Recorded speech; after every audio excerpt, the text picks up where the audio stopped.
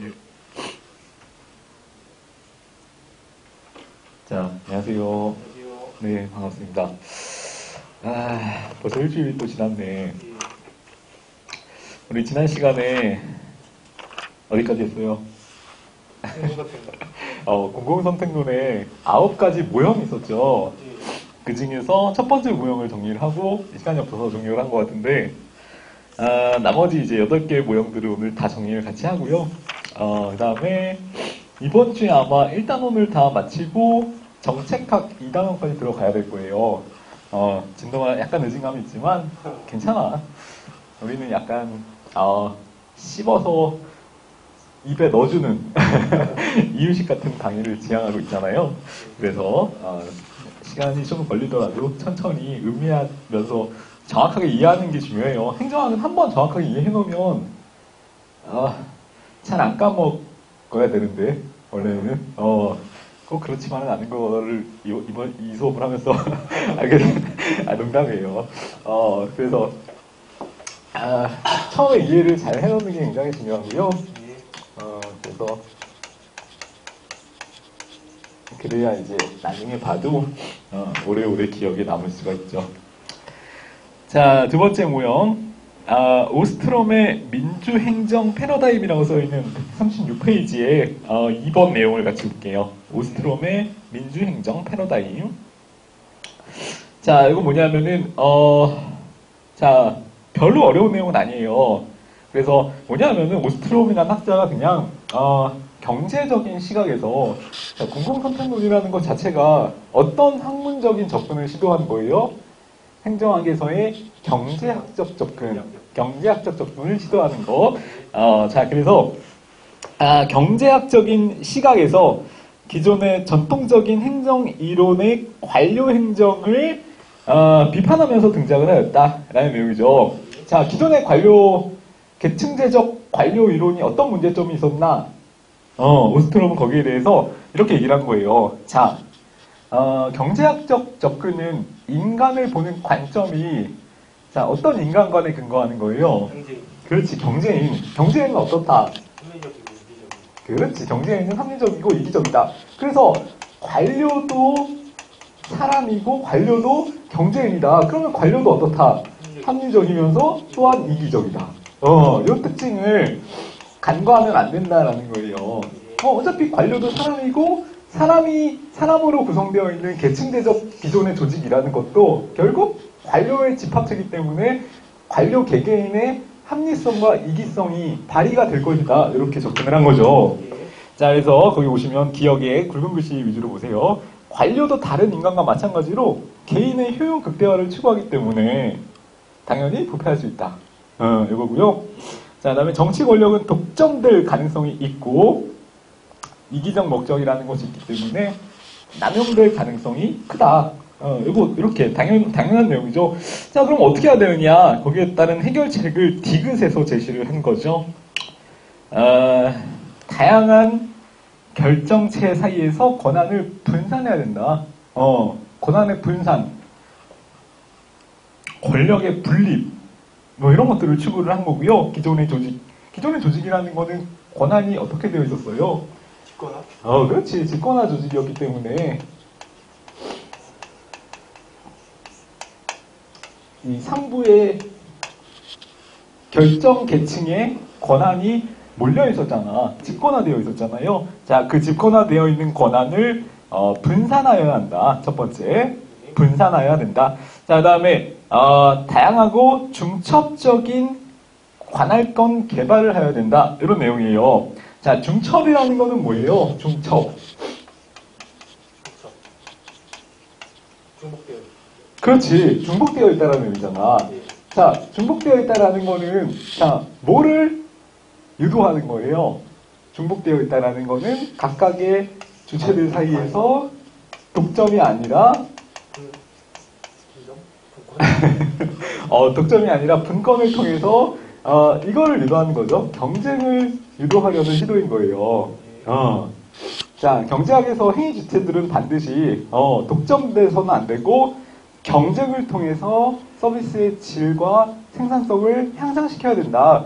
그래서 고객 만족도를 제고해야 된다라는 게 경제학적인 관점인 거잖아요. 예. 자, 그래서 관료도 마찬가지예요. 계층제적 기존의 권력 구조는 집권화되어 있기 때문에 독점의 문제가 발생될 수 있었다. 그래서 어, 독점이 아니라 중첩을 통한 관할권의 중첩을 통한 경쟁 구도로 어, 기존의 계층제적 질서를 어, 개선해야 된다 이렇게 봤다는 거죠. 자, 그래서 오스트롬이라는 학자는 그래서 기존의 어, 계층제적 관료제의 문제점을 지적하면서 예.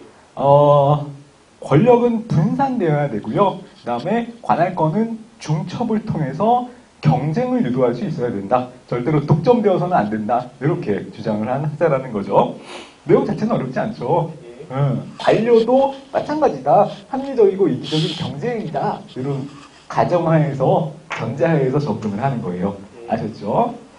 자, 그 다음에 옆에 137페이지에 3번 티브 가설. 티브 가설 봅시다. 티브 가설. 어, 티브 가설. 티브 가설. 자, 아, 학자 이름이 티브인데요. 재밌죠? 티브. 티브 못지않게 저, 저번에 재밌었던 사람 이름 있었잖아. 왜? 그, 그 왜, 외부 효과 할 때, 어, 외부 효과의 발생을 세금을 통해서 해소할 수 있다. 어, 그래서 그 학자가 피구라는 학자였고, 자, 그래서 학자 이름을 따서 피구세라고 붙여져 있었던 아, 세금 명칭이 있었잖아요. 그거 못지않게 나는 이 티브라는 사람이 되게 재밌어. 티브, 티브라는 학사 이름이 굉장히 재밌다라고 느꼈고요. 자, 이거는 뭐냐면은, 여기 한번 봅시다. 아, 이런 거예요. 어, 티브라는 학자는 굉장히 재밌는 이론을 주장했어요. 아, 뭐냐면은, 어, 발로 하는 투표. 라는 이론을 주장했는데요. 자, 이거 뭐냐면 이런 거예요. 어, 주민들은, 주민들은, 자, 개개의 주민들은 스스로 자기가 어떤 지방 단체에 거주하면서 생활할지를 스스로 결정할 수 있다. 예. 이렇게 접근을 한 거예요. 자, 그래서 예를 들어서 여러 개의 지방 자치단체가 있으면은, 있으면은,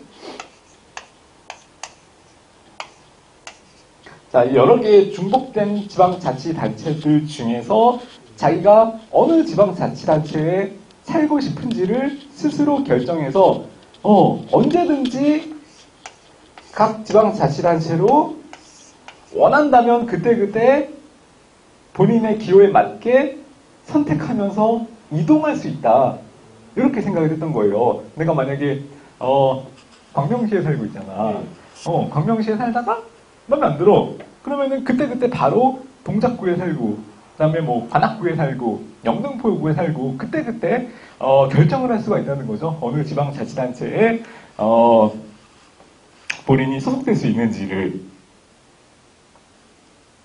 자, 그거를 주장을 한 거예요. 자, 근데, 어, 현실, 현실적으로 따져보면은, 어, 지방자치단체를 이동할 때는 반드시 뭐가 들어요? 이동에 따르는 비용. 비용이 들잖아. 우리 흔히 얘기하는 이사비가 들잖아요. 자, 근데 이동에 따른 비용은 전혀 없다라고 가정을 하는 거예요. 응, 비용 자체는 아예 없기 때문에 각계 개인들은, 시민들은 어느 지방자치단체인지 본인이 원하는 지방자치단체를 마음에, 마음대로 선택할 수 있다. 예. 기호에 맞게. 자, 이렇게 접근을 한다는 거예요. 자, 그래서, 어, 의의를 보시면요. 자, 주민들은 자유로운 지방 간의 이동, 음, 그 다음에 다수의 지방 정부가 있다라고 전제를 하고요. 어, 거기서 발로 하는 투표를 통해서, 그러니까 이 사람이 발로 지방자치단체를 선택하면서 마음대로 움직여 있다는 거예요. 자, 그러면은 본인이 어느 지방자치단체를 원하는지 선호에 대한 투표가 저절로 이루어지겠죠. 예. 그래서 티브는 이런 상태를, 상황을 발로 하는 투표 상황, 이렇게, 이렇게 정의를 내렸다는 거예요. 자, 그래서 발로 하는 투표를 통해서 지방 공공재 공급의 적정 규모가 결정될 수 있다. 어, 이렇게 접근하는 이론이라는 거죠. 자, 그래서 특징들을 어, 중요한 내용 위주로 간단하게만 정리를 하시면 돼요. 왜냐하면 개념 자체는 전혀 어렵지 않기 때문에 어, 본인들이 그냥 발로 투표를 하듯이 지방자치단체를 본인의 기호에 맞게 선택할 수 있다. 이거거든요. 내용은 어렵지 않죠. 어, 자, 그래서 기존에는 어, 반드시 공공 서비스는 중앙 정부에 의해서만 제공되어야 된다. 이렇게 주장을 한 공공재 이론이라는 학설이 있었어요. 예. 자, 그거는 어, 앞에서 정리를 했었는데. 아, 그렇지. 사무엘슨이 주장한 공공재 이론에 따르면은 어, 지방 정부가 아니라 중앙 정부에서만 무조건 공공 서비스를 제공해야 된다 이렇게 주장을 했었어. 기억나시죠? 어, 근데 티브는 거기에 대한 이제 어, 반대 이론으로서 음, 중앙 정부가 아니라 개별적으로 본인이 선호하는 지방 정부에서도 얼마든지 공공 서비스를 제공할 수 있다 이렇게 접근을 했다는 거죠. 자, 그래서 사뮤엘슨의 공공재 이론에 대한 반론으로 제시되었다. 어, 이 내용 먼저 기억을 해두시고. 아, 자, 그 다음에 니은 읽어보시고, 디귿에 보시면은, 자, 그러면은 지방 정부가 여러 개이기 때문에 지방 정부끼리는 뭘 하게 되는 거예요? 그렇지, 경쟁을 하게 되는 거죠. 자, 그래서 지방 정부 간에 경쟁을 하기 때문에 공공 서비스의 질을 향상시킬 수가 있다. 예. 그 다음에 민주성을 어떻게 할 수 있어요? 그렇지, 민주성을 제고할 수 있지. 왜? 개인이 원하는 걸 그때그때 실현시키지 않으면 지방정부에서. 그렇지, 반로하는 투표에 의해서 본인이 원하는 지역으로 자유롭게 이동을 할 수가 있다는 거죠. 그러니까 이 개인에 대한 주민들에 대한 요구의 대응성이 반드시 높아져야 되죠. 그때그때 대응을 해줘야 돼. 예. 그러니까 어, 지방 정부는 민주적인 어, 행정을 구현할 수가 있다는 거죠. 자, 그다음에 어, 디귿 리을 한번 읽어보시고요. 자, 미음에 보시면은 미음에 보시면은 아, 이런 비판이 또 가능한 거예요. 자, 어, 현실적으로 그러면은 시민들이 완전하게 이 각각의 지방자치단체에서 어떤 일을 하고 어떤 장점과 단점이 있는지에 대한 정보를 완전하게 알 수 있을까요, 없을까요? 어, 없지. 자, 이, 이 반로하는 투표라는 개념이 성립되기 위해서는 반드시 각 지방자치단체들 사이에 완전한 정보를 전제로 해야 되고요. 예. 완전한 정보를 전제로 해야 되고, 자, 그 다음에 또, 아, 아까도 얘기했지만, 비용이 전혀 안 드는 완벽한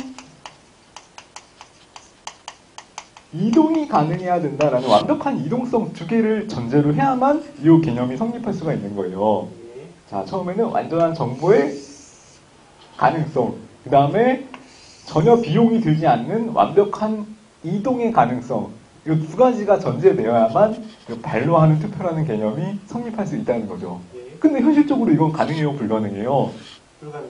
완전히 불가능하지, 현실에서는. 자, 그래서 이거는 현실적인 이론이 아니라 단순한 관념적인 모형에 불과하다. 어, 이렇게 접근을 하는 게이 반로하는 투표 이론에 대한 비판이에요. 예.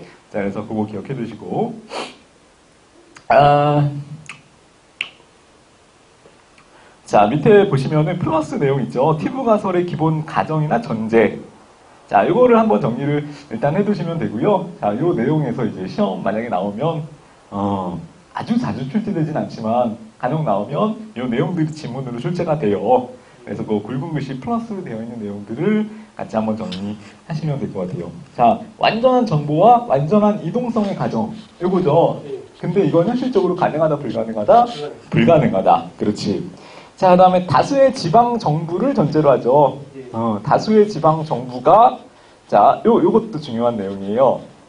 동일한 정책을 추진하면은 다수의 지방 정부가 있는 의미가 있어요, 없어요? 없죠. 그래서 반드시 A와 B와 C와 D의 이 다수의 지방 정부는 반드시 각각 고유한 특성에 맞게 상이한 정책을 추진할 것. 어, 상이한 정책을 추진할 것. 자, 이렇게 가정을 하고 있고요.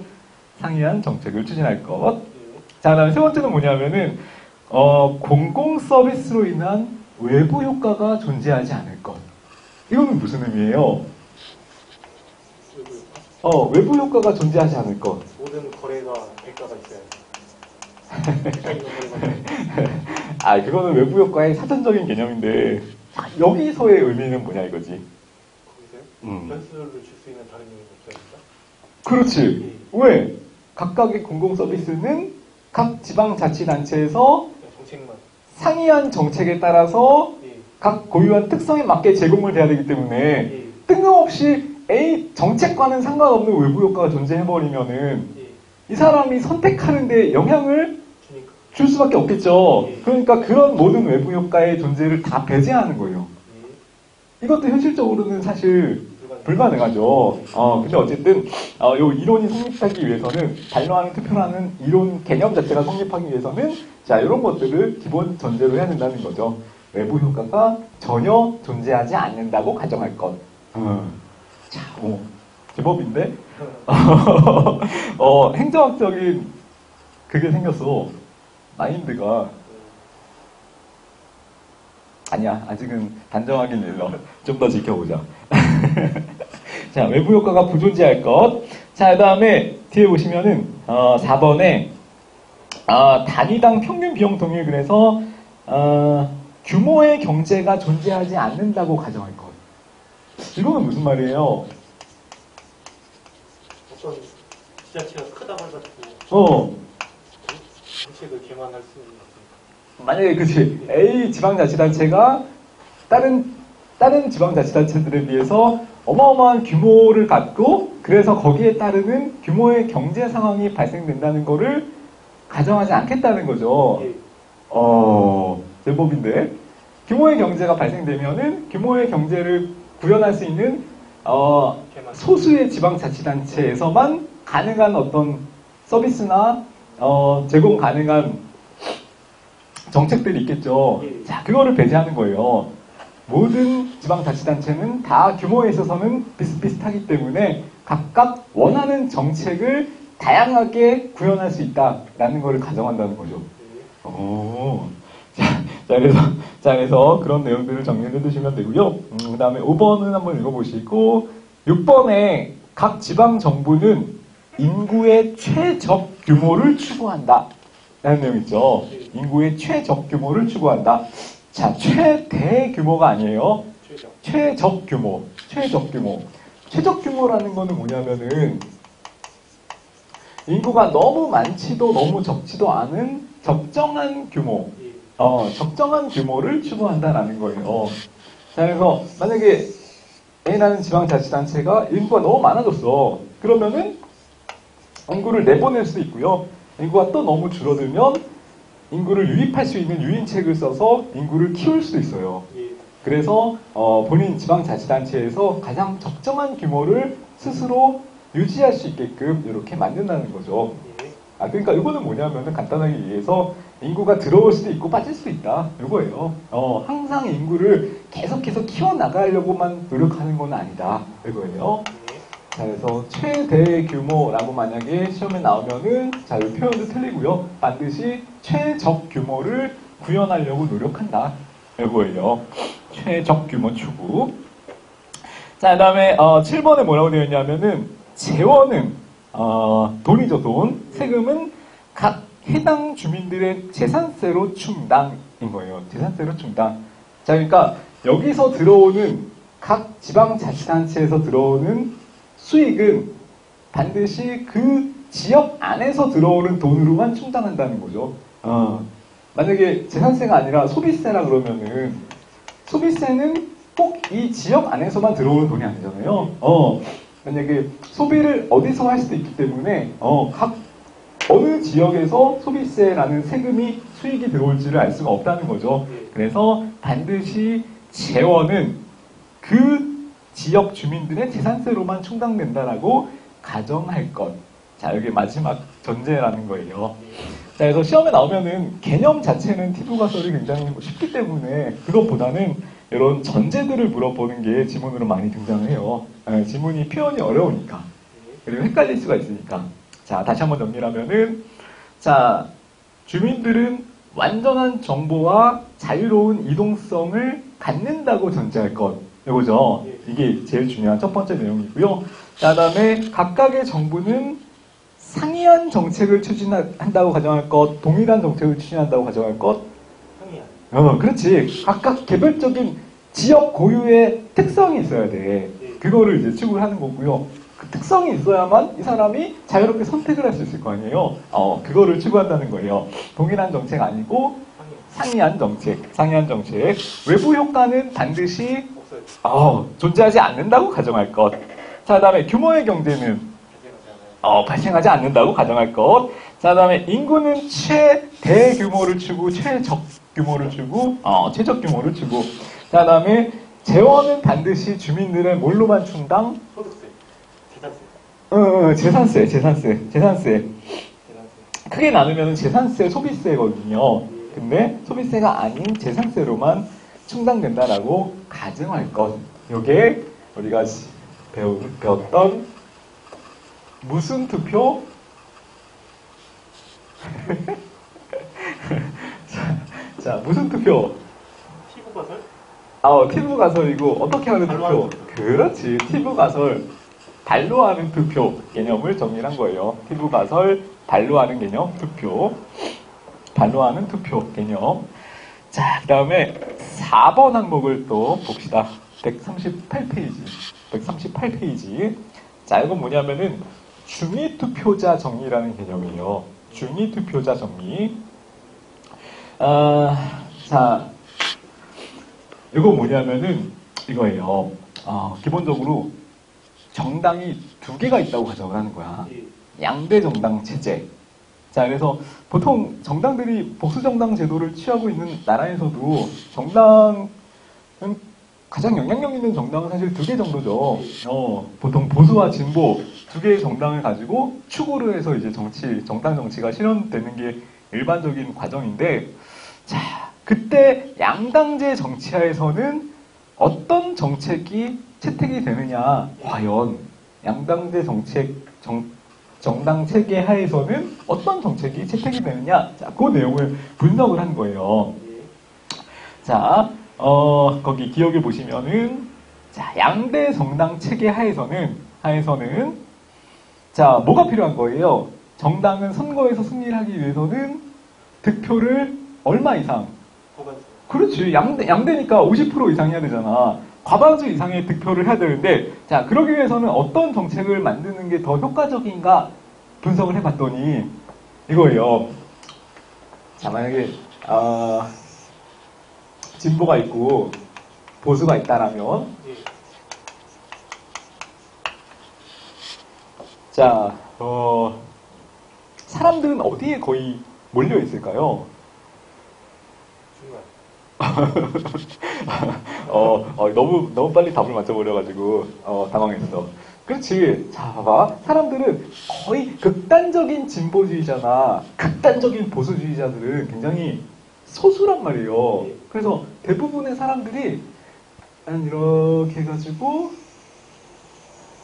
진보 아니면은 보수 그 애매한 중간 지점에 본인의 정치적인 입장을 갖고 있는 경우가 굉장히 많아. 예. 선생님도 그렇고 본인은 애매해. 애매해요? 어 그래서 자, 자 그래서 거의 답을 어 답을 가정해놓고 물어보는 것 같아요. 자, 자 그래서 극단적인 진보주의자나 극단적인 보수주의자들은 상대적으로 전체 국민의 어 전체 국민을 대상으로 봤을 때는 굉장히 소수이기 때문에 자 만약에 양당제 정치 하에서라고 가정을 하더라도 예. 어, 진보당이든 보수당이든 어떤 정당이든 어떤 정책을 만드는 게 전체 국민들을 비교적 만족시킬 수 있는 대안이 될 수 있는 거예요. 어, 그렇지, 맞아.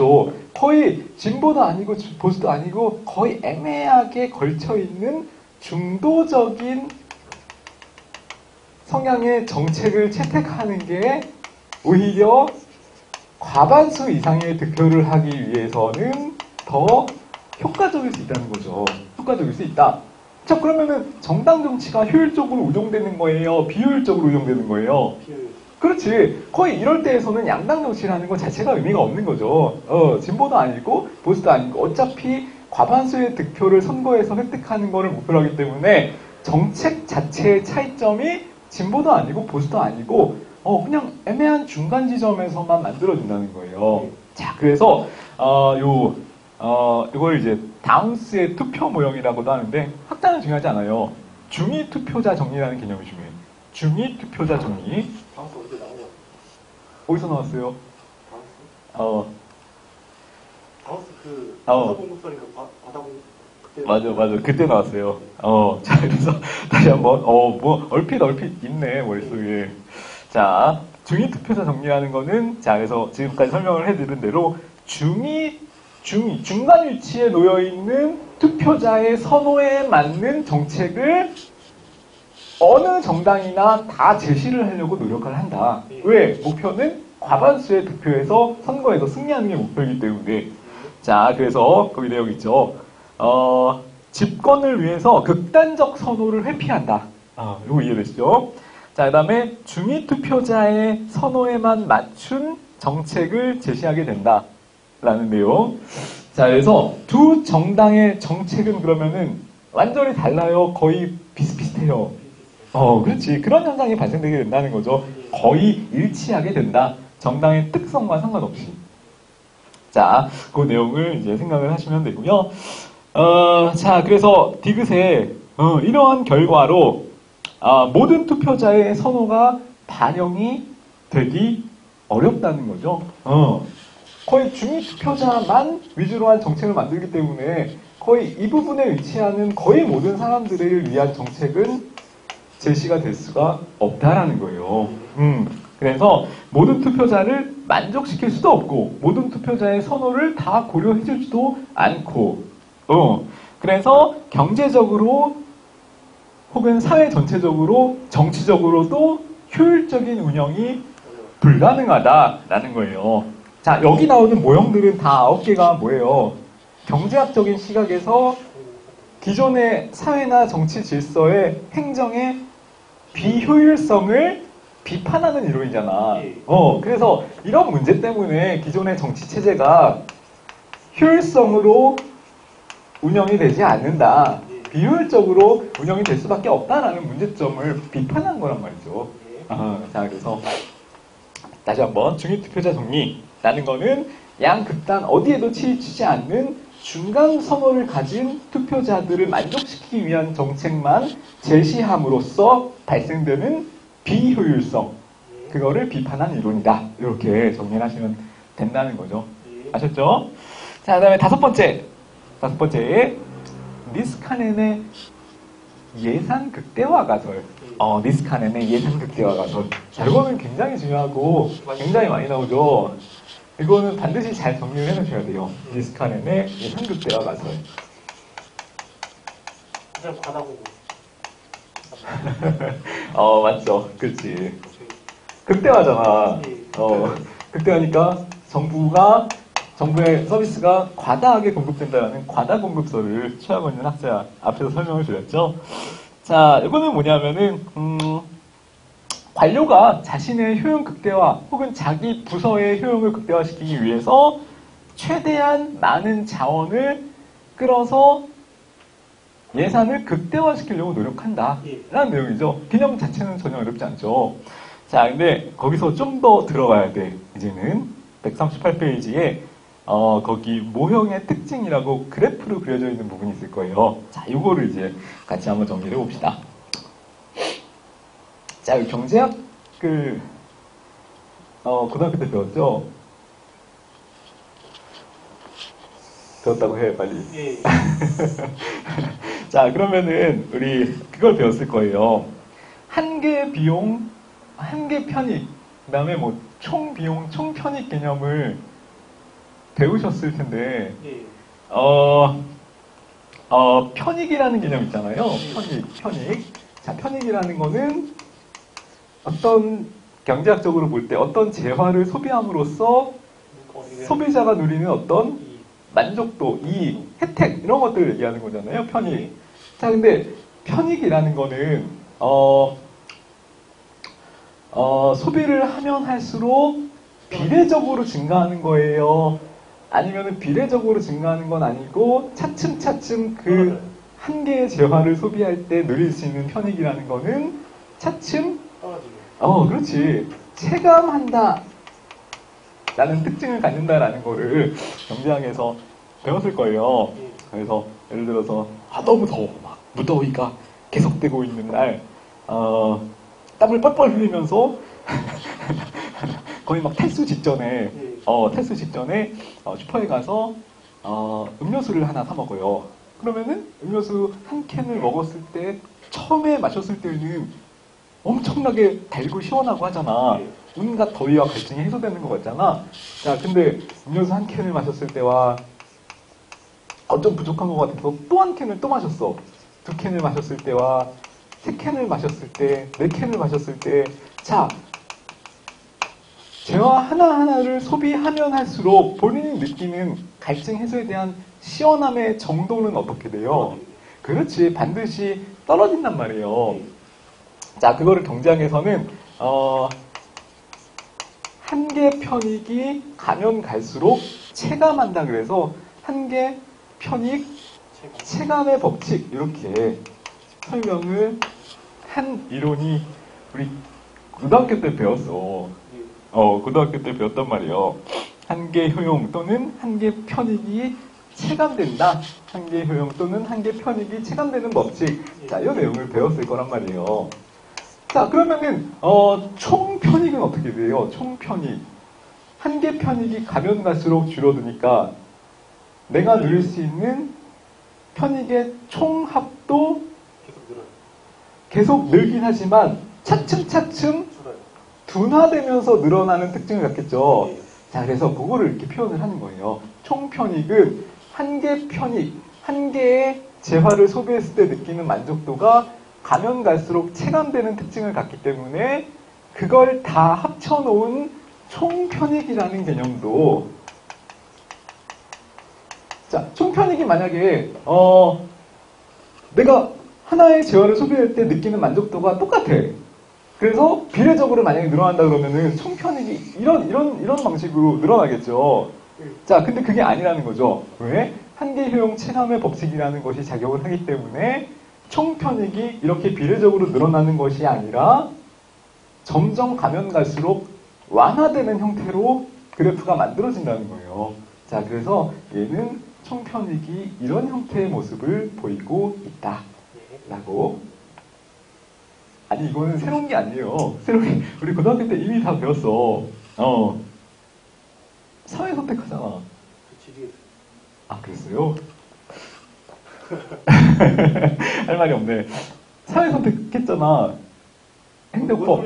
행정법 안 하고. 아, 자, 그래서 다른 거는 필요 없어요. 이거 경제학적으로 막 심화해서 들어갈 필요는 전혀 없고요. 그냥 총편익이 차츰차츰 둔화되는 형태로 표현될 수 있다는 것만 알고 계시면 돼. 예. 자, 일단 거기까지. 자, 그래서 총편익은 가면 갈수록 차츰 완만해지는 둔화되는 형태를 보이게 된다라는 거 먼저 정리를 해두시고요. 자, 그 다음에 비용은 자, 비용은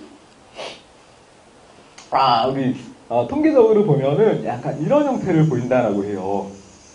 자, 총 비용이라는 것은 총 비용이라는 것은 처음에는 적지만 가면 갈수록 이제 어, 비용이 늘어나는 형태를 갖기 때문에 결국은 차츰 둔화되는 총 편익과 차츰 증가되는 총 비용이 언젠가는 이렇게 만나게 된다라는 거죠. 예. 자, 언젠가는 이렇게 만나게 된다라는 거예요. 자, 그러면은 이렇게 생각을 해봅시다. 이렇게 생각을 해봅시다. 자, 여기가 만약에 서비스고요. 여기 서비스의 수고. 자, 여기가 편익이에요. 아, 비용이에요, 비용.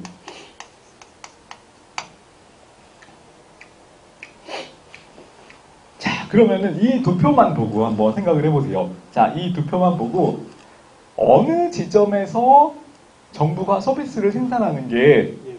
가장 경제학적으로 효율적일까? 효율. 어, 효율적일까를 한번 생각을 해봅시다. 자, 경제학적으로 가장 효율적이다라는 거는 뭐예요? 어, 수입 대비 산, 산출이. 그렇지. 투입이라는 거는 비용을 최대한 낮추고, 예. 그 다음에 효용은 최대한. 높일 수 있는 방향으로 움직여야 되는 거잖아요. 자, 그러면 이게 비용이고 이게 편익이에요. 예. 이게 총 비용이고 이게 총 편익이란 말이야. 자, 그러면 이 전체 그래프에서 비용이 가장 낮아지면서 편익이 최대화되는 지점은 어디예요? 자, 내가 늘 예를 들어 드릴게. 자, 여기가 A라고 치고요. 그 다음에 여기가 B라고 치고, 뭐 예를 들어서 그 이상은 뭐 C라고 칩시다. 예. 삼지선다형이에요. 자, 이 중에서, 이 중에서, 어, 경제학적으로 봤을 때 가장 효율성 있는, 효용이 극대화되는 지점은 다음 A, B, C 중에서 어느 지점이에요? 어? 아예요. 어, 이제 뭐, 어, 슬슬 장난친다. 아니, 확실히, 확실히. A요. A죠, A. 어, 왜? A 지점에서는 어떻기 때문에? 뺀 값이 남은 값이 꽤 많아. 어, 그렇지. 자, 어, 총 편익이 이 정도고요. A 지점에서는. 그 다음에 총 비용은 이 정도인 거예요. 예. 자, 요 그래프가 중간이 이렇게 뚱뚱한 형태로 그려져 있잖아요. 예. 자, 그러니까 총 편익에서 총 비용을 뺀 값. 예. 그게 가장 극대화되는 지점이 바로 A점이라는 거죠. 예. 자, 그래서 경제학적으로 봤을 때는 비용 대비 산출을 고려해서 생산의 크기를 결정하는 게 맞잖아요. 예. 자, 그래서 경제학적으로 보면은 A 지점이 뭐라 그러냐면은 최적 생산이 가능한 최적 생산점이라고 보는 거예요. 예. 최적 생산점, 최적 생산점. 왜? 비용은 최소화시키고 편익은 최대화시킬 수 있는 지점이 바로 A 지점이기 때문에. 예. 자, 근데 관료들은 그러면은 관료들은 A 지점인 최적 생산 지점에서 어, 생산을 하려고 할까요? 어, 아니야. 왜, 왜 그럴까요? 어. 그렇지. 자기 부서의 이익을 최대화시키기 위해서. 비용을 쓸 수 있는 최대한의 한계까지 쓰려고 노력을 한다는 거예요. 자, 그러면은 비용의 최대 한도는 어딘데? 비. 그렇지. 자, 여기에요, 여기. 편익이 전혀 없는데 비용을 쓰는 거는 또 욕먹잖아. 그래서 그 정도까지는 아니고요. 어, 편익이 더 늘 수 없는 상태에서 비용을 다 쓸 수 있는 지점까지 생산을 하려고 한다는 거예요. 예. 누구는? 관료들은, 정부 관료들은. 예. 자, 그래서 B 지점까지 정부는 과다 생산이라는 것을 하게 될 수밖에 없다라는 게 니스카넨이 주장한 예산 극대화 가설의 내용 중에 하나인 거예요. 예.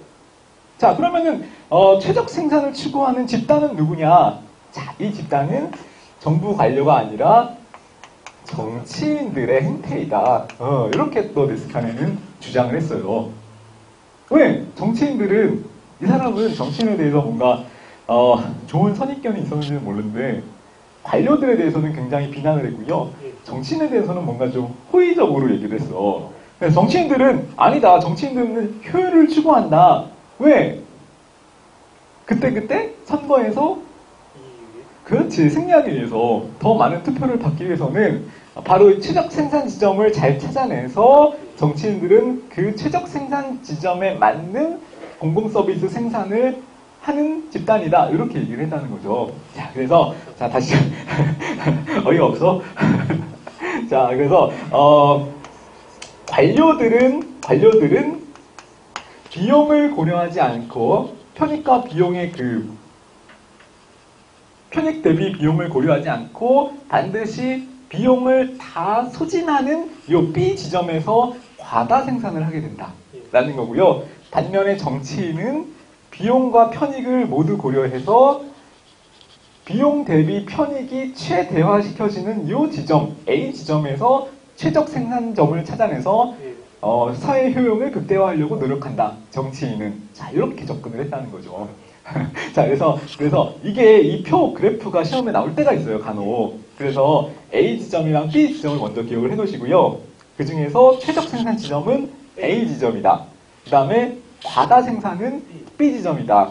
사회 효용을 극대화하는 건 어느 지점이다? A. 지점이다. 정치인이 선호하는 건 어느 지점이다? A. 지점이다. 관료들이 선호하는 건 B.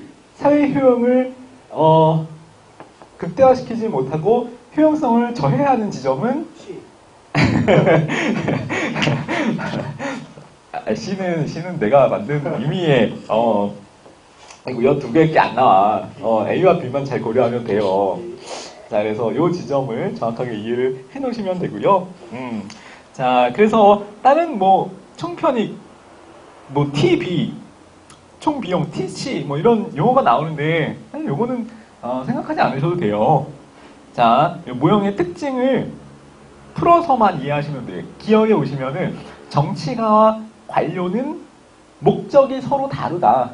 어, 경제학적인 표현에서도 목적 함수가 서로 다르다. 이렇게 표현을 해놨는데, 목표가 서로 다르다라는 거죠. 정치인은 순편익의 극대화를 추구한다.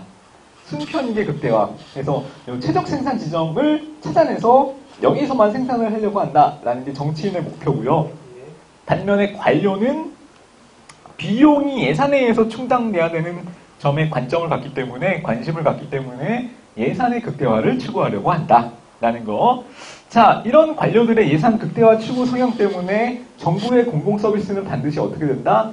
너무 과하게 생산된다. 과다 생산할 수밖에 없다. 그래서 공공재는 과잉 생산된다. 예. 라는 거죠. 그래서 앞서 배웠던 리스카넨의 이론 있죠. 정부 서비스가 과다 생산되는 어, 그 내용과 같은 맥락인 거예요. 어, 정부는 총 비용을 다 돈을 다 소모하는 데까지 돈을 쓰기 때문에 최적 생산이 아니라 과다 생산이 될 수밖에 없다. 이렇게 얘기를 했다는 거죠. 예. 자, 이거는 자원 배분이 효율적이다, 비효율적이다. 비효율적. 어, 비효율적이다. 어차피 이 공공선택론 모형은 아홉 개가 다 무조건 비효율적이다 라면서 정보를 까는 내용이잖아. 예. 어, 이것도 마찬가지 그러니까. 관료 까는 내용이기 때문에 무조건 비효율적이다. 이렇게 접근을 하는 거예요. 예. 예상 극대화 가설도. 자, 근데, 어, 자, 이건 우리가 또 새롭게 배우는 내용인데, 우리 139페이지에 보시면은, 자, 이 리스카넨의 예산 극대화 가설을 비판한 학자가 있어, 또. 자, 자, 그래서, 그, 요거를 같이 묶어서, 묶어서 기억을 하셔야 돼요. 이게 5번 모형이었고, 우리 6번 모형이 있잖아요. 예. 자, 이거를 같이 묶어서 기억을 하셔야 돼요. 던디비라는 사람의 관청 형성 모형이라는 것이 있어요.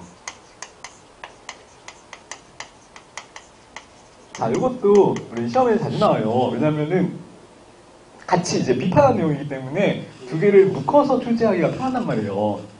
자, 그래서 이 내용도 같이 연결시켜서 기억을 하셔야 되고요. 아, 리스카넨의 예상극대 가서는 어떻게 했다? 비판. 어, 비판하면서 등장했다. 자, 던리비는 이렇게 가정을 하는 거예요. 여기 밑에 플러스 내용부터 같이 한번 봅시다. 과연, 과연 모든 관료들이 다 자기네 부서의 예산을 극대화하려고만 노력할까? 이렇게 의문을 던진 거죠. 그래서 어, 예산의 종류를 분석해 보기 시작했어요. 예. 예산의 종류를 분석을 해봤는데 아, 크게 나눠서 이제 네 가지 예산의 종류로 나눌 수 있겠더라 이렇게 어, 정리를 했던 거죠. 자, 그래서 어, 가장 대표적인 예산이 핵심 예산이라는 것이 있더라 이렇게 정의를 먼저 내렸어요. 예. 거기 밑에 예산의 2번의 예산의 유형부터 먼저 보세요. 자, 예산의 종류 중에서 가장 기본적인 예산 중에서 그냥 그 행정기관 운영하기 위한 운영 비용 있죠. 어, 그거를 핵심 예산이라고 하자. 핵심 예산. 핵심 예산. 그래서 어, 공무원 월급, 인건비, 사무실 운영비, 시설 운영비 이런 거 있죠. 이런 것들을 무슨 예산이라고 하자? 핵심 예산. 어, 핵심 예산이라고 하자라는 거예요. 예. 자, 근데 이거 말고 또 다른 예산도 있죠. 예를 들어서 사, 사기업에 재정 지원금이나 보조금을 주는 거 있죠. 어, 이런 것들. 자, 아니면은 아, 다른 기관에 이전해 주는 비용. 사기업에 준다든지 다른 뭐 준정부기관에 보조금 형태로 지급되는 비용들 있죠. 자, 그런 예산들은 뭐라고 부르, 부르기로 하자고 했냐면은 핵심 예산 말고 관청 예산이라고 부르자. 관청 예산, 관청 예산. 자, 그래서 이제 예산의 종류를 먼저 나누는 거에서부터 시작을 했어요. 바로 이 덧립이라는 사람이. 처음에 사무실 운영 경비와 관련된 거, 인건비와 관련된 거는 일반적으로 소모되는 비용 핵심 예산이라고 하자. 핵심 예산. 자, 그 다음에 다른 해당 정부 부서에서 다른 민간단체에 지원하는 지원금 같은 비용들을 관청 예산이라고 하자. 관청 예산이라고 하자. 자, 근데 어떤 것들은 민간에 지원되는 게 아니고 다른 정부 기관에 또 나눠주는 예산이 있을 수 있잖아요. 자, 그거를 뭐라고 부르자고 했냐면은 사업 예산이라고 부르자. 이렇게 얘기를 했다는 거죠. 사업 예산.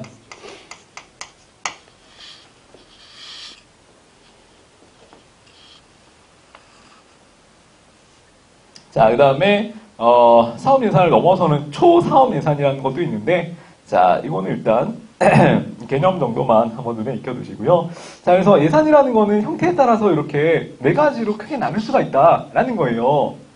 근데 덧립이라는 사람은 리스카넨의 예산 극대화 가설은 어떤 예산이든 종류를 막론하고 다 모든 예산을 극대화시키려고 노력한다라는 전제였잖아요. 예. 근데 덧립이는 그렇지 않더라. 예산의 종류에 따라서 극대화시키려는 예산이 있고 굳이 예산 극대화 동기를 갖지 않는 예산도 있더라. 이렇게 나눠서 정리했어요. 예. 자, 그래서 핵심 예산은 예산 극대화 동기를 가질까요? 안 가질까요? 예, 예산을 극대화 시키려고 노력하겠죠. 왜? 이거는 본인들의 뭐예요? 인건비, 사무실 운영비, 예. 자, 이런 거기 때문에 이게 많으면 많을수록 관료들한테 좋단 말이에요. 그래서 핵심 예산은 당연히 극대화 시키려는 동기가 있어요. 예. 자, 근데 그 다음에 관청 예산은 자, 내 핵심 예산 플러스 다른 사적 부분에 내가 돈을 지원해 줄 수 있는 보조금이야, 보조금. 보조금은. 내가 갖고 있으면은 이 사적 영역에 대한 내 부서의 영향력이 더 커지는 거죠. 예. 어, 내 입김이, 내 힘이 더 늘어나는 거야. 그러니까 당연히 관청 예산도 늘리려고 노력을 하겠죠. 자, 근데 사업 예산은, 사업 예산은 뭐예요? 다른 행정기관에 이전해 주는 예산이란 말이에요. 다른 기관에 넘겨줘야 되는 예산이야. 그거는 우리 부서의 이익을 위해서는 직접적인 연관이 별로. 없기 때문에 부서의 입장에서는 사업 예산을 더 늘리려고 할까요? 별로 신경을 안 쓸까요? 별로 신경. 확실해? 확실해? 줄여. 아, 뭐 줄이는 것까지는 아니지. 어, 줄이는 것까지는 아니지만, 그다지 예산을 극대화하려는 극대화 동기를 갖지 않는다는 거예요. 그래서, 어, 예산 유형에 따라서, 거기, 3번에 예산 극대화 조건 있죠? 예. 자, 그 내용을 이제 정리를 하시면 돼요. 자, 관료들이 자기 부서의 예산을 극대화할지 여부는, 자, 예산의 유형이나 기관의 유형에 따라서 어떻대요? 다르게 나타날 수 있다라는 게 핵심이에요, 핵심. 핵심. 자, 그래서 어, 예산 유형에 따라서 그럼 어떻게 다르냐? 자, 하위 중위직 관료들은 핵심 예산의 증대로부터 이득을 얻을 수 있다. 이렇게 얘기를 하는 거고요. 반면에 고위직 관료들은 고위직 관료들은? 관청 예산의 증대로부터 뭔가 본인이 혜택을 얻게 된다. 이런 거죠. 자, 그래서, 어, 핵심 예산과 관청 예산은 둘 다 예산 극대화 동기를 갖는 예산인데요. 그래서 최대한 많이 받아내려고 노력을 한단 말이야. 예. 근데 그 중에서도 또 나누면 핵심 예산은 중하위직 공무원들이 중하위직 공무원들이 핵심 예산에만 더 관심을 갖고 더 극대화시키려고 노력을 한다는 거고요. 관청 예산은 중하위직 아니까 어 그렇지 고위직 관료들이 더 관심을 갖고 이걸 늘리기 위해서 노력을 한다는 거예요. 관청 예산은 고위직 관료들이 관심을 갖는 예산의 종류이다라는 거. 자 먼저 그 첫 번째 내용을 정리해 두시면 되고 자 그 다음에 2번에 보시면은 핵심 예산, 관청 예산 관료는 어떻게요? 예산 극대화 동기를 갖는다라고 되어 있죠? 예. 갖는다. 그래서 핵심 예산과 관청 예산 이 부분까지는 예산 극대화 동기를 갖는다. 하지만 하지만 뒤에 사업 예산을 활용하는 기관은 예산 극대화 동기를 갖지 않는다라는 게 이제 포인트예요. 포인트. 자, 그래서 어, 핵심 예산과 관청 예산까지는 예산 극대화 동기가 적용이 돼요. 리스카넨의 말처럼. 근데 사업 예산의 경우에는 그렇지 않더라. 그래서 예산의 종류에 따라서 예산 극대화 동기를 갖는 예산의 종류가 있고 굳이 갖지 않는 예산의 종류도 있을 수 있다. 자, 그 다음에 예산의 또 종류에 따라서 핵심 예산은 관료 중에서도 중하위직 관료들이, 그 다음에 관청 예산은 고위직 관료들이 예산 극대화 동기를 다르게 갖더라. 자, 이 내용까지 던립이라는 사람이 주장을 했다라는 거죠. 했다라는 것. 자, 그거 기억을 해 두시고요. 어, 모형의 특징 마지막으로 한번 정리를 해봅시다. 자, 그래서 이 내용 이제 이해되실 거예요. 관료 개인의 효용의 증감은 소속 기관의 유형에 따라 다르다 라는 거. 자, 그 다음에 니은 니은 내용도 한번 보시면은 합리적 고위 관료들은 자 고위 관료들은 책임과 통제를 좋아해요, 싫어해요? 싫어요. 어, 되게 싫어한단 말이에요. 예. 자, 그래서 어, 일상적 기능은 준정부 조직이나 외부 계약으로 떼어내고 예. 자, 가능한 권력 중심에 있는 참모적 기능을 수행하려고 노력한다. 라는 게 있는데, 자, 이건 나중에 이제 조직할 때도 좀 더 자세히 배우겠지만, 고위 관료들은 어떤 행태를 갖고 있냐면은. 자, 본인이 이제, 어, 힘은 행사하고 싶어 해. 예. 근데 뭐는 하기 싫어하냐면은 책임지거나 통제받는 건 되게 싫어해요. 자, 그래서 어, 합리적 고위 관료들은 어떻게 행동을 하냐면은 어, 본인이 어, 개선, 그러니까 결정권자가 되는 거는 싫고 예. 결정권자는 최대한 나는 결정권자가 되지 않으려고 하고 뭐만 하냐면은 결정권자 옆에서 조언만 해주는 참모적인 역할을 수행하는 것을 선호를 한단 말이에요. 참모, 참모, 예. 참모.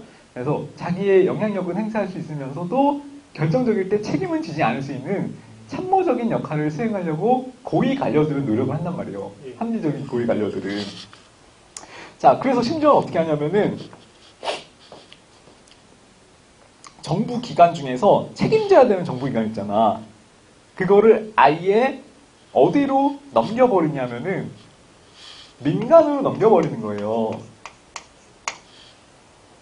그래서 우리 나중에 조직할 때 더 자세히 배우겠지만 우리 정리한 내용 있죠. 책임 운영 기관.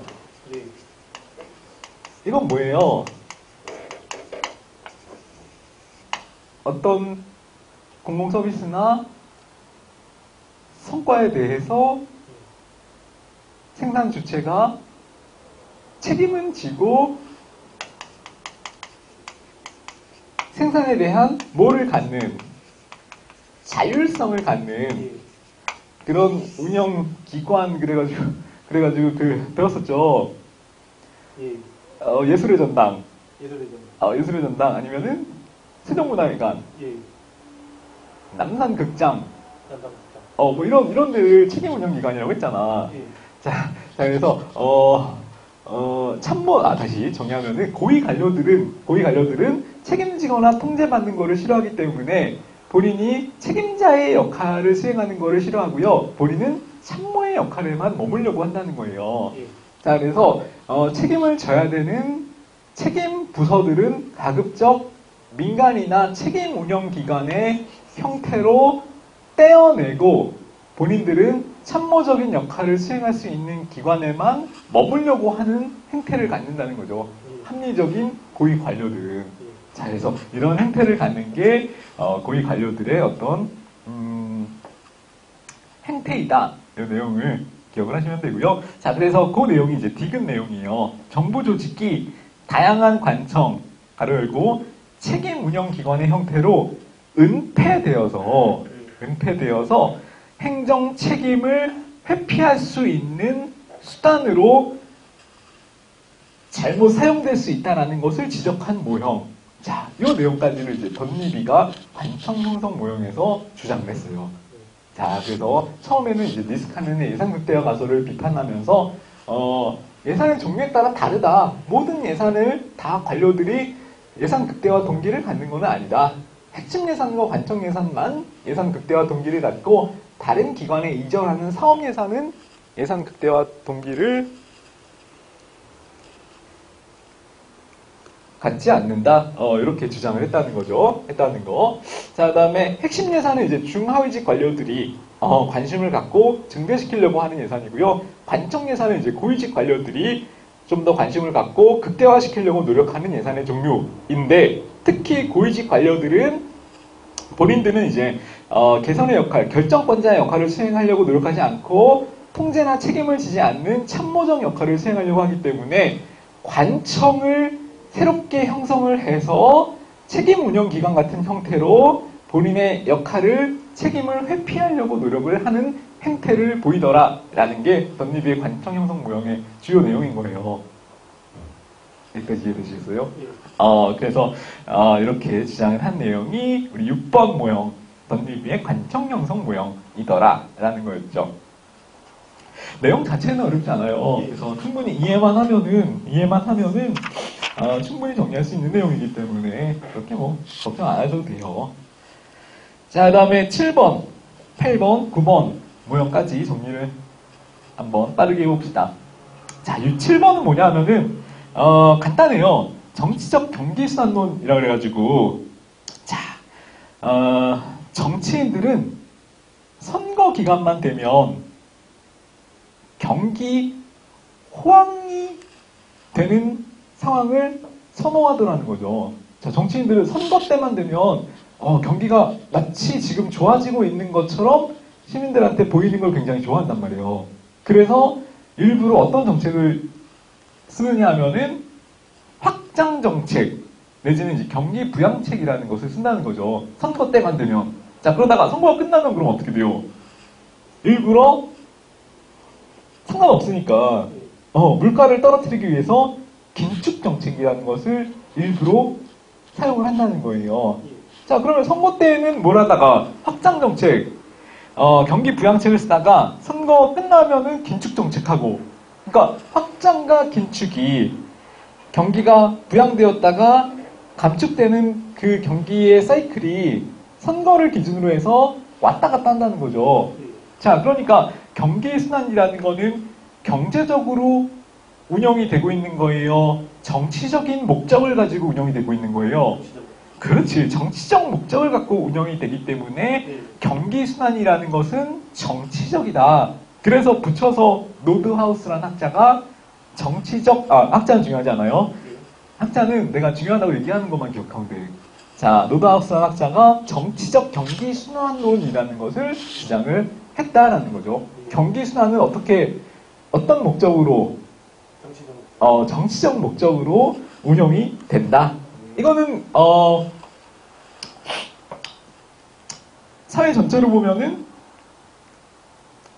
굉장히 경제적으로 봤을 때는 비효율적인 행태다라는 걸 설명하기 위한 공공성명 모형 중에 하나인 거죠. 자, 그래서 이거는 간단하니까 그냥 이 내용만 이해하시면 되고요. 자, 다음에 8번. 8번도 굉장히 많이 나오죠. 투표의 교환이라는 개념이에요. 투표의 교환. 투표의 교환. 투표의 교환. 우리 기초 강의할 때 이거에 대해서 약간 정리했었는데 예. 기억나세요? log rolling. 그 다음에 pork barrel. 들어는 봤고 당연히 들어봤지. 이렇게 설명을 했으니까. log rolling이랑 pork barrel이라는 용어가 있었는데, 자, 그걸 한번 머릿속에 떠올려 봅시다. log rolling이랑, 대답만 하지 마. 떠올려 보라고. log rolling이랑 pork barrel. 자, 이거 어떤 내용이었어요? 자, log rolling은 일단 뭐라고 설명을 했어요? log가 뭐예요?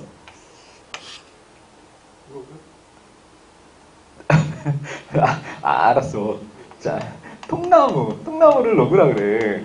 어, 통나무, 통나무를 로그라 그러는데, 우리 그, 주로 영미권에서 그런 거 많이 하죠. 그, 통나무 굴리기 시합, 통나무 굴리기 게임. 그래가지고, 혼자가 아니라 여러 명이 이렇게 나란히 서가지고, 같이 어떻게 해요? 강이, 강 위에서 통나무를 하나 딱 띄워놓고 세 명이 올라와가지고 같이 통나무를 굴리는 걸 하잖아. 자, 이거는 같이 호흡을 맞춰서 함께 페이스를 유지하면서 굴리, 굴려야 통나무가 제대로 굴러가서 안 떨어지겠죠. 네. 자, 한 사람이라도 호흡이 틀어지면 그 사람은 셋 다, 어, 셋다 강에 빠지잖아. 자, 그래서 이거는 뭘 설명하고 있는 거냐면은, 어, 여러 개의 개별 주체가 같이 협력해서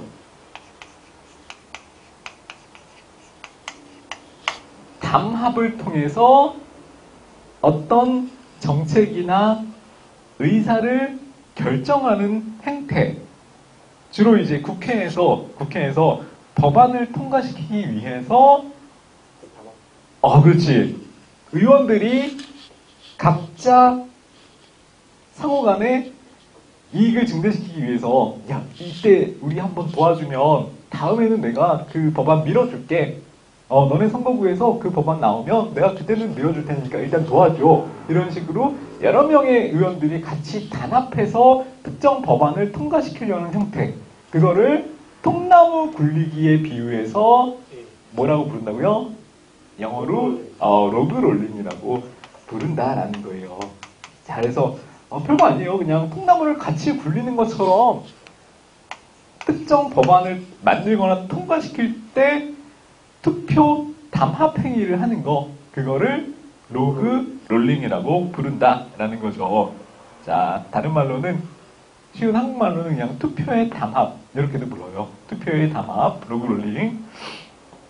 아, 그 행정학에서 특- 용어가 많이 나오잖아요. 예. 근데 뭐 log rolling도 그렇고 뒤에 나오는 pork barrel도 그렇고. 근데 내가 볼 때는 한 100개 정도만 100개 너무 많은가? 그러니까 행정학 용어를 100개 정도만 완벽하게 숙지하면 행정학 합격 합격 점수를 충분히 받는 것 같아. 그러니까 이러, 이게 하나예요. log rolling, pork barrel, 그다음에 아까 배웠던 예산 극대화, 그다음에 비판했던. 그렇지. 그런 내용들을 하나씩만 정리해서 100개 정도만 딱 채우면, 어, 그러면은 충분히 합격할 수 있어. 행정학에서는. 그러니까 너무 많이 하려고 하지 마시고요. 하나씩만, 하나씩만 기억하시면 돼. 하나씩만. 자, 그 다음에 포크배럴. 포크배럴은 뭔지 한번 봅시다. 자, 이거는 이제 구유통 정치라고도 하는 건데요.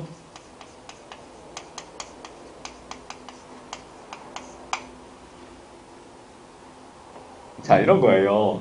아, 우리, 그, 사료, 사료 같은 거. 예. 돼지, 돼지를 키운다고 하면은, 어, 사료들을 놓아두는 사료통?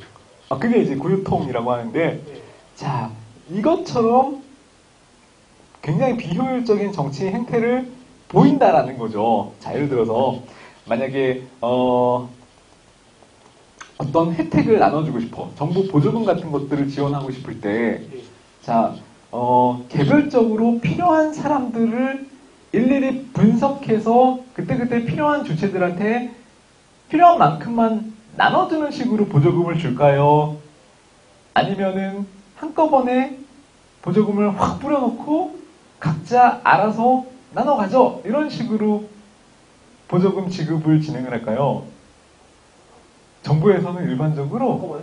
그렇지 않다는 거예요. 그렇지. 한꺼번에 마치 구유통에 사료를 한꺼번에 쫙 뿌려놓고 예. 돼지들끼리 야 너네 알아서 나눠 먹어 라는 식으로 어, 관련된 보조금이나 지원 혜택을 나눠주더라는 거죠. 자 그래서 거기에 빗대서 설명을 하는 거예요. 자 각종 정치적인 이권이나 교부금, 지원금, 보조금 같은 혜택을 나눠줄 때 나눠줄 때 마치 농장주가 돼지들한테 사료를 나눠주는 것처럼 나눠주더라라는 거죠. 예. 자, 만약에 그렇게 한꺼번에 나눠주면 어떤 형태가 발생돼요?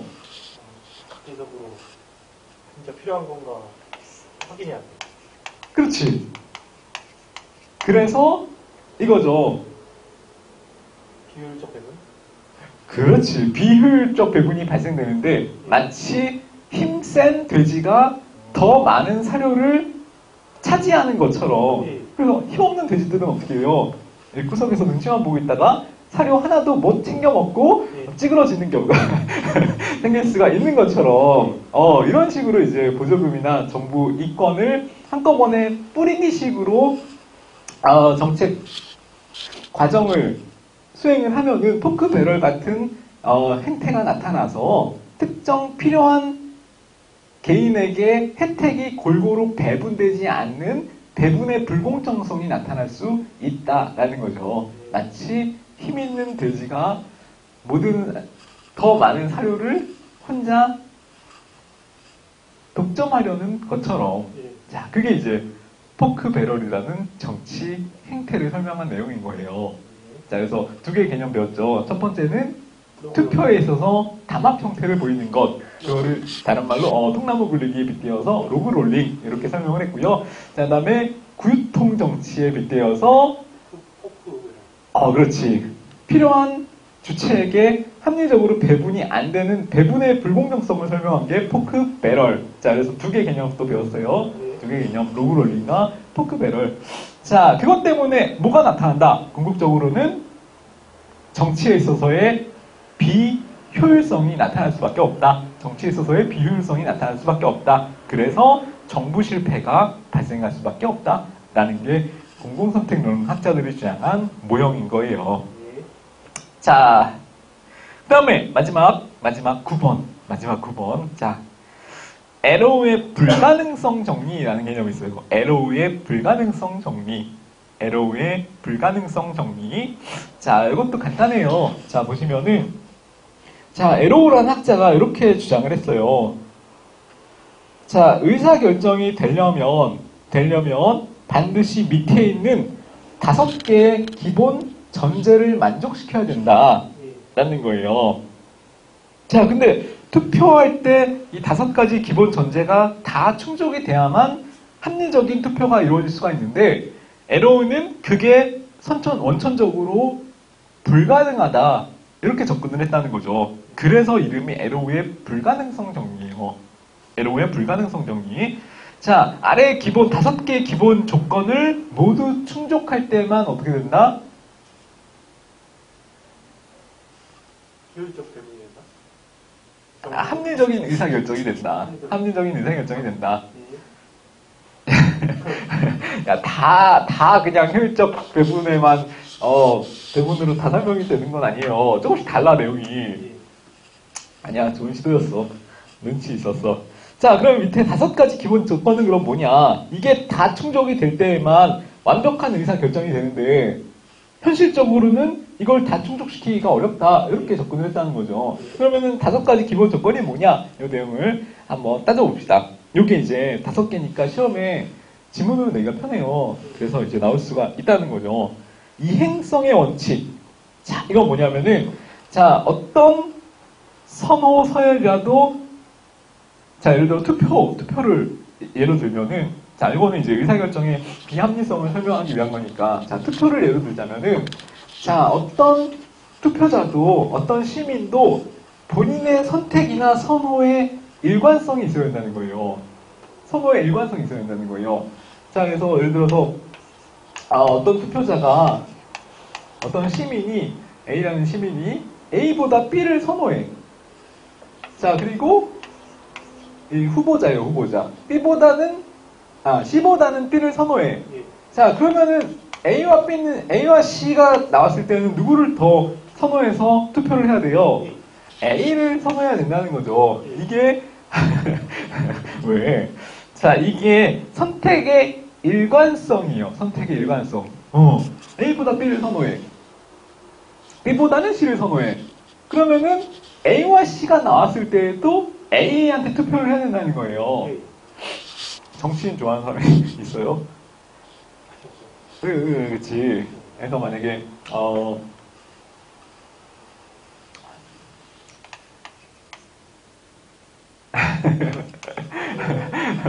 어, 문, 문이라고 합시다. 어, 문, 문과 뭐, 박. 특정인을 거론하는 건 아니에요. 특정인을 거론하는 건 전혀 아니에요. 성씨만 이해를 돕기 위해서, 어, 박보다는 문을 선호해. 예. 그리고, 어, 박이니까. 예. 하지만 이보다는 박을 선호해. 예. 자, 그러면은 문과 2가 나왔을 때 누구를 찍어야 돼요? 문. 어, 문을 찍어야 되는 게 여기서 얘기하는 에로우의 무슨 원칙? 일관성이 원. 어, 일관성의 원칙을 이 사람은 뭐라고 표현을 했어요? 이행성의 원칙. 이행성의 원칙. 자, 선호 서열이 있기 때문에 선택의 일관성을 가져야 된다라는 게 이행성의 원칙이에요. 이행성의 원칙. 자, 이거 표현, 용어 기억해 두시고. 자, 그 다음에 미음의 만장일치의 원칙. 자, 만약에 어떤 대안을 만장일치로 선호를 한다면 그 대안이 선택이 돼야 된다는 거죠. 예. 자, 그 사회 구성원들이, 주민들이, 시민들이, 국민들이 어떤 정책을 다 선호해. 그러면은 당연히 그 선호되는 대안이 채택이 되어야 된다는 거죠. 자, 그게 만장일치의 원칙이에요. 이건 어렵지 않죠? 자, 그 다음에 디귿 보시면은 무관한 대안에서 독립의 원칙. 자, 이거 뭐냐면은, 어, 대안에 대한 개인의 선호 순위는 다른 제3의 대안이 갑자기 들어와서 거기에서 영향을 받아서는 안 된다라는 거예요. 어, 우리는 그냥 애초에 갖고 있던 선호를 그대로 투표에 반영을 해야 되고요. 예.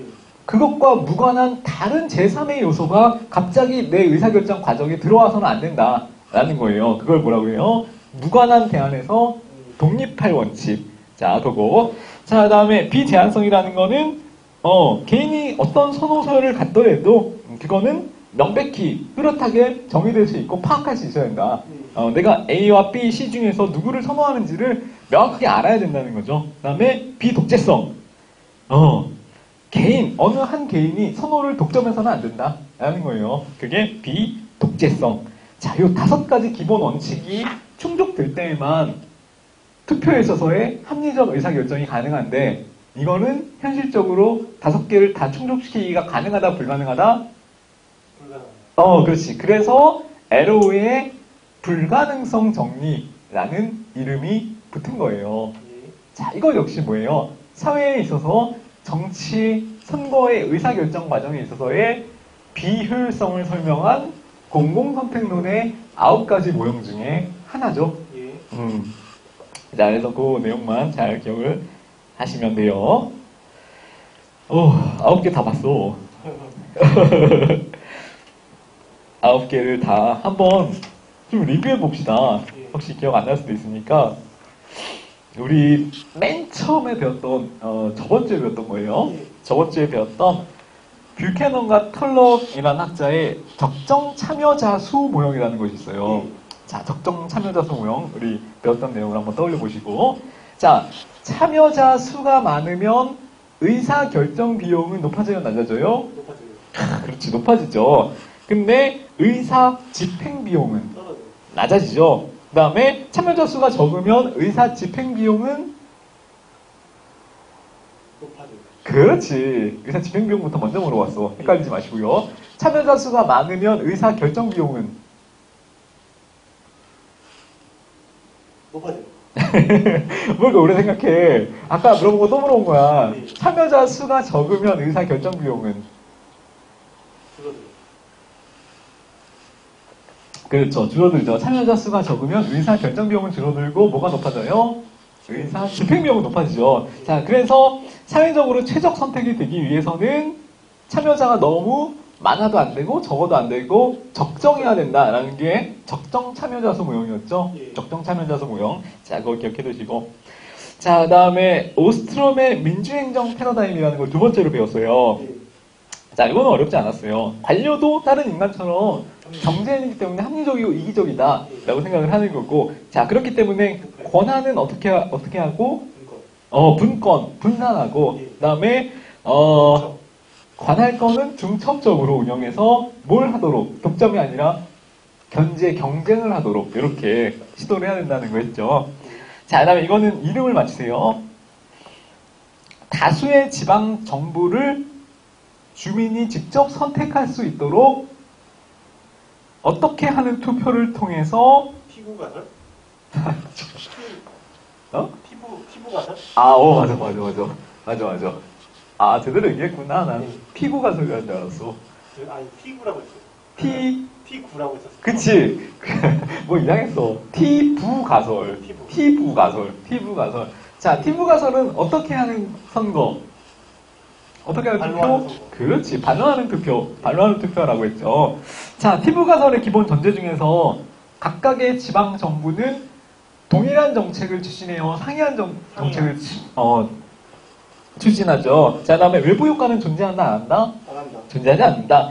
규모의 경제는 존재한다, 안 한다? 안 한다. 인구는 최, 적.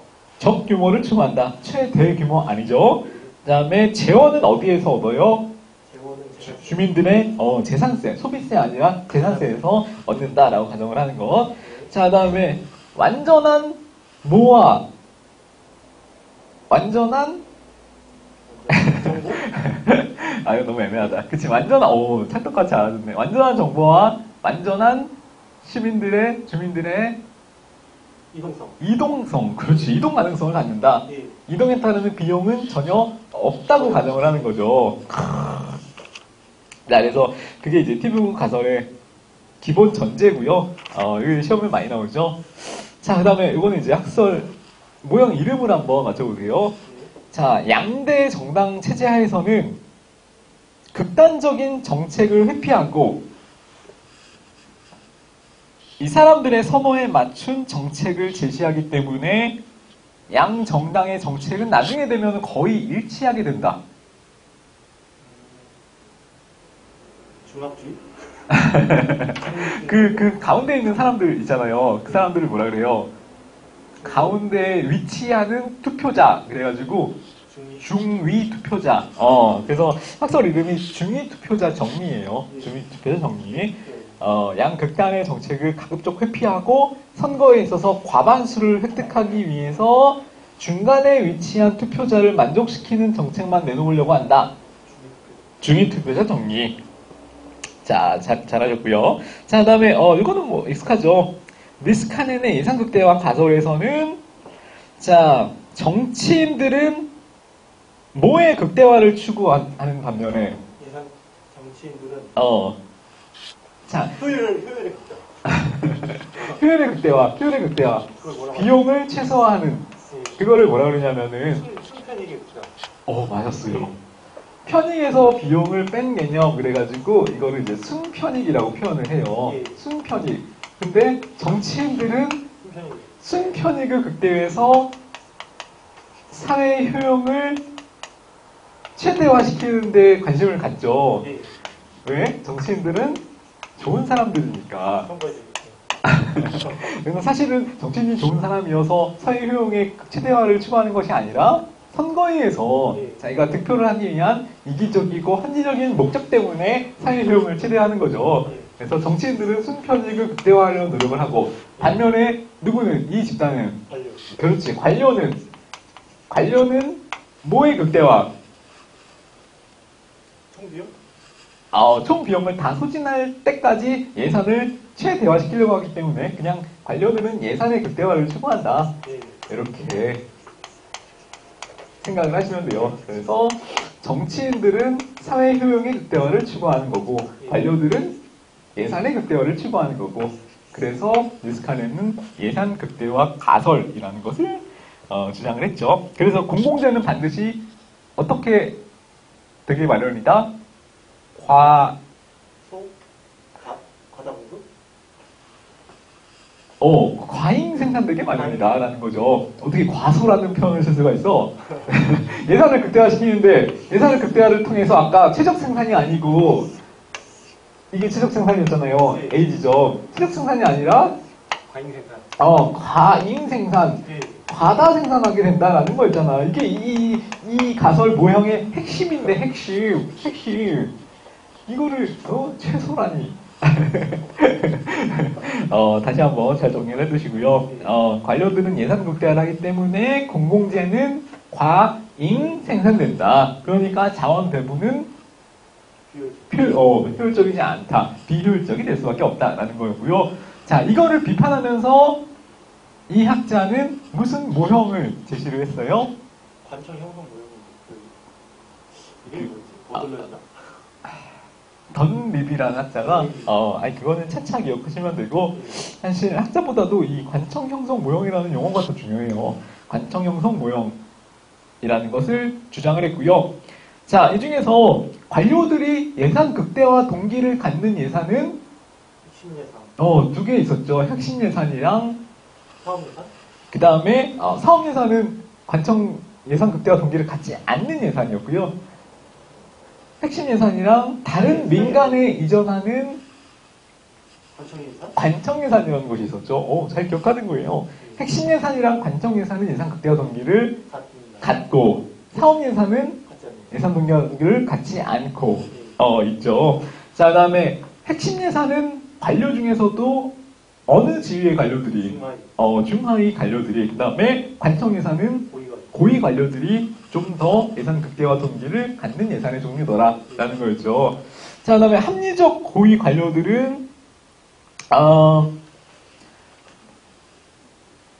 참모 기능을 수행하려고 해요. 참모, 개선 기능을 어 그렇지 참모 기능을 수행하려고 한다. 그래서 관청을 외부 계약 형태로 외부로 떼어내서 예. 책임 운영 기관 같은 형태로 은폐되어 있는 조직을 만들려고 시도를 한다. 책임이나 통제로부터 자유로워지기 위해서 이런 내용이 있었죠. 자, 그것도 기억해 두시고 자, 그 다음에 아, 노드하우스라는 학자의 학자는 중요하지 않아요. 정치적 경기 순환론이라는 게 있었죠. 선거 때는 어떤 정책을 사용하다가 경기 부양, 경기 부양책, 확장 정책을 네. 어, 시도해서 어, 돈을 막 풀죠. 어, 그래서 경기 호황을 일부러 유도하는 건데요. 자, 근데 선거가 끝나면 일부러 긴축 정책을 펴가지고 어, 물가를 억제하려고 하죠. 물가 상승되어 있는 물가를 억제하려고 노력한다. 이거를 노드하우스의 정치적 경기 순환론. 경기 순환이라는 거는 경제적으로 이루어지는 게 아니라 정치적 목적을 갖고 이루어지는 거다. 라는 내용이 있었고. 자, 그 다음에 투표의 교환이라 그래가지고 두 개의 모형이 있었죠. 첫 번째는 투표의 담합행위를 설명한 통나무 굴리기 모형. log roll, log rolling. 자, 그 다음에 반대로 구유통 정치라 그래가지고 네. 아, 그렇지. 고기를 딱 던져주면 힘 있는 돼지들만 와가지고 다 독차지하는 그런 형태를 설명하는 게 pork barrel, pork barrel. 자, 그다음에 마지막, 마지막으로 어, 에로우의 불가능성 정리라는 게 있었는데 예, 어, 다섯 가지의 기본 조건을 다 충족할 때만 합리적인 의사결정이 될 수 있다 라는 거였죠. 근데 그거를 충족시키기가. 불가능하기 때문에 어, 현실적으로는 어, 이런 형태의 의사결정이 이루어지지 않는다라는 거였고요. 자, 기본 조건이 다섯 개였는데 그 중에서 선호 선택은 일관성을 가져야 된다. 그래서 A, B보다 A를 선호하고 B보다 C보다 B를 선호하면? 그렇죠. 그거를 선호에 있어서 일관성 그래서 이행성의 원칙 했었죠. 자, 다음에 만장일치의 원칙이라는 것이 있었고 예, 자, 다음에 다른 외부 제3의 영향을 받아서는 안 된다라는 게, 개인 원칙. 아, 애썼어. 어, 무관한 대안에서의 독립의 원칙이라는 게 있었죠. 아, 근데 이거는 용어를 외우기보다는 그 지문으로 나왔을 때 그거 골라내기만 하면 돼. 이거 다 용어를 외우는 게 중요하진 않아요. 뭔지만 알면 돼. 자, 그 다음에 비제한성이라는 개념이 있었죠. 자, 이건 뭐예요? 본인의 선호는 사회, 사회로부터 다섯 가지 한다? 아니야. 그거는 독립의 원칙이에요. 예, 자, 이거는 비제한성이라 그래가지고, 어, 본인의 기호나 본인이 선택 경향 선호는 명백히 정의 내릴 수 있어야 된다라는 게 비제한성. 그 다음에, 어, 다른 어떤 개인의 선호가 전체 사회의 선호로 채택되어서는 안 된다라는 거는 비, 비, 비독재성? 독재성. 그렇지. 비독재성의 개념이었죠. 비독재성의 개념이었고. 자, 그래서 이렇게 아홉 개가 굉장히 중요한 모형들인데, 자, 이 내용을 다 정리를 하신 거예요. 자, 그래서 굉장히 힘든 작업인데, 어, 잘 정리를 해주셨고, 마지막 141페이지에 요 한 페이지만 더 정리하고, 아, 잠깐 쉽시다. 자, 그래서 공공선택론의 행정개혁 방안은 그러면 어떻게 처방이 되어야 되느냐? 뭐 이거죠. 자, 아까 중첩적인 조직, 활용, 관할권의 중첩, 이런 표현이 있었잖아요. 예, 자, 그래서 다원 조직, 여러 개의 조직으로 이루어져야 된다라는 내용이 있었고요. 자, 그 다음에 개서적 아니고 비개서적으로 조정되어야 된다라는 거예요. 자, 비개서적은 뭐냐면은 개서적은 계층제적 조직이라는 거예요. 수직적인 조직. 예. 개서적은 계단식이라고 생각하시면 돼요. 수직적인 조직을 얘기하는 건데, 그럼 비개서적인 조직은 수직적 아니고 수평적. 조직을 얘기한다는 거죠. 어, 수평적 조직으로 아, 조직 구조가 바뀌어야 된다라는 거고, 자 관할권의 중첩을 허용돼야 된다. 이거는 독점하지 말고 쟤네들끼리 경쟁을 통해서 서비스의 질을 향상시키자라는 개념이죠. 자, 그 다음에 고객에 대한 의존도를 제고하자. 이거는 고객의 반응이나. 그걸 민감하게 반응해야 된다는 거죠. 어, 고객에 대한 의존도를 제고해야 된다. 자, 그 다음에 이런 게 이제 대표적으로 중요한 내용들이고요. 자, 이거와 더불어서 한계점, 비판점도 나와요.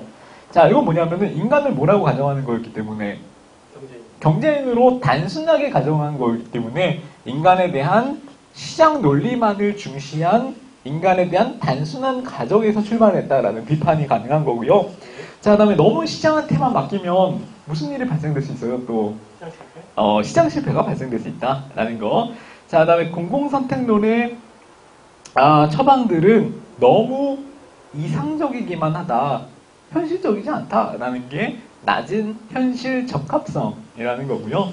자, 그 다음에 수준 높은 시민 문화를 전제한다. 어, 시민들이 더 참여를 해야 된다라는 걸 전제로 하고 있는데 사실 시민 문화 수준이 낮은 나라에서는 후진국들은 이게 가능하기가 어렵죠. 예. 수준 높은 시민 문화를 전제로 하기 어렵기 때문에 어, 이런 한계점을 얘기할 수가 있고요. 자, 보수주의적인 접근에 불과하다. 이거는 뭐예요? 보수주의는 시장을 믿는 거예요? 불신하는 거예요?